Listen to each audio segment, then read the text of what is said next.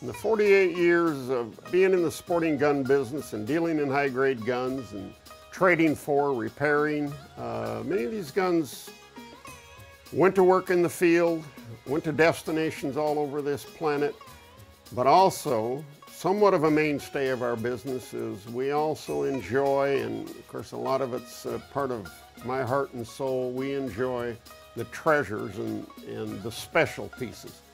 And this particular gun we're looking at here is a Westley Richards drop lock caliber 300 Sherwood. It was made in 1912. It was sold to von Lengerke and Detmold in New York City.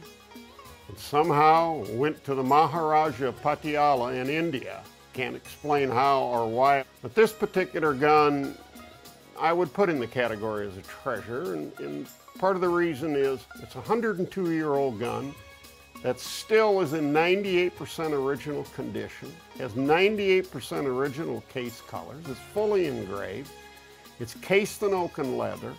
Uh, as you can see, it's got the original labels in the case. Uh, just an incredible gun, and and it it's you know it's one of these values. It's one of these treasures. It's it's the piece that could be museum quality. And the system on this particular gun the drop lock system, which Westley still builds to this day, is such that you can take the locks out if you have a repair problem. You can send, put them in the post. You got on a steamship, you're in, on a 12 month destination, 12 month trip, send the broken lock back. And with this particular gun, it has a spare set of locks. You just merely take uh, the spare lock, put it back in, you're back in business.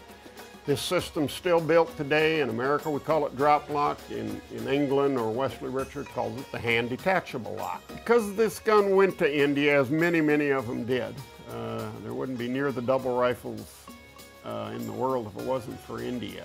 But the condition of this gun, the fact it was known that it went to the Maharaja of Patiala, this gun just dreams of, of ships, and tigers and palaces and fine spices and women and silk.